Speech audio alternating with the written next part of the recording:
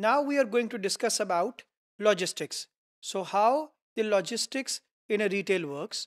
So how the e-logistics system works into retail. So now we are going to discuss with both of the from both the perspective. Uh, the from in the retail side, we need to see it. So first of all, what the logistics is. First of all, we need to understand that.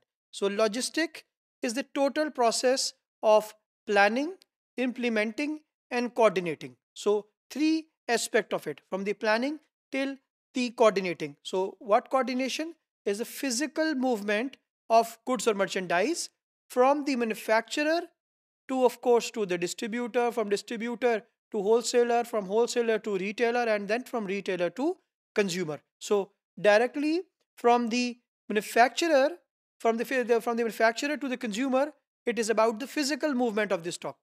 And then it the objective is is most is timely effective cost effective and of course the timing perspective has been considered. So overall it is a complete process in which you have to move the merchandise from the manufacturer to the consumer. And of course the objective is that you have to do it efficiently and effectively. The time consideration should be there. The cost consideration should be there. So logistics is the key because it is an ultimate way of uh, reaching to your customer taking the products taking your products to the customer let me share with you one example of it the example is in front of us it is the sophisticated logistic system of Reitmans, which is a retail store. So if you see the diagram, if you see this pictorial reflection of this uh, logistic system, so first of all, the products are received into the store. And then, of course, a forklift is receiving that and placing it on these kind of uh, trays, which is actually automatically move this product into the next step. So then you can see uh, a particular, let's say, a trolley, a lift, uh, which is actually helping the cartons to drop down directly into the store. So from the warehouse to the store, how is moving is through a slider.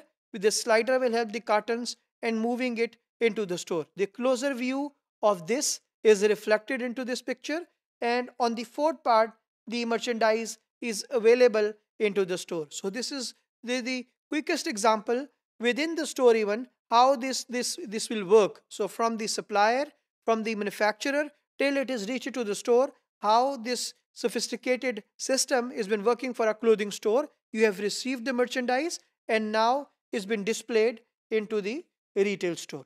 We have another example of the e-logistics system for example by UPS so just giving you an example of uh, the e-logistics uh, system that for example you can take care of the whole logistics parameter delivering the products to the customer from the manufacturer and this can be done this can be tracked through online where you can really see the progress where the goods are actually at the moment and how it will be delivered. So you do not need to uh, go and physically investigate that you can easily reflect it you can easily find out you can easily track through the e-logistics system uh, where you can easily track all the logistics. So logistics is the key because uh, it is a complete process in which you are going to deliver your product to the customer. So you have to have the this process has to be cost effective.